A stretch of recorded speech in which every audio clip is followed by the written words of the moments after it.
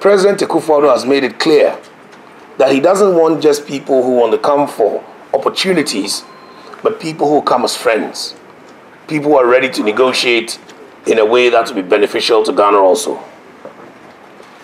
We've spoken at length about all the various projects that Ghana wants to deal with in terms of our one district, one factory, planting for food and jobs, one village, one dam, um, and all the rest of the steps that the president has taken to industrialize Ghana. But there's one message that I want to send out to my Indian brothers in particular today. I want us to look out of the box. We've worked very well since early 2000 in areas, for example, Exim Bank, lines of credit, buyer's credit, and so on and so forth. Yes, we'll continue in that vein because I know, and I'll say this without fear or favor, that the rates that we get from your Exim Bank are better than most of the European banks who come and also take uh, the same packages that we are forced to take by the IMF. And this should stop. This is something we are not going to tolerate again in future because we want the best deal for ourselves. So yes, we need money from Exim Bank to progress. But we also need something which is most important. We want Indians to come here to do FDI, foreign direct investment.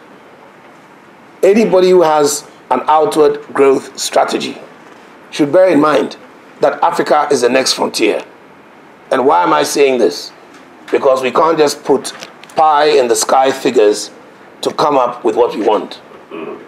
Concrete figures churned out by the World Bank tells us that the prediction for 2018 out of the 10 fastest growing economies in the world, six of them are going to come from Africa. And of those six, Ghana is number one.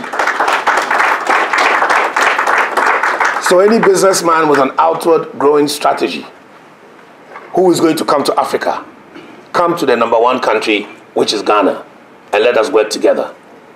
And this is possible. Let us look at the recent not $1 million, not $2 million, $80 million steel factory. Ningo Prampram. On an 85 acre land. This is going to churn out about 15,000 tons of steel products per month. It's going to make it the biggest when it's finished in 2019 October the biggest in West Africa and one of the biggest in the whole of Africa, being done by an Indian company for foreign direct investment.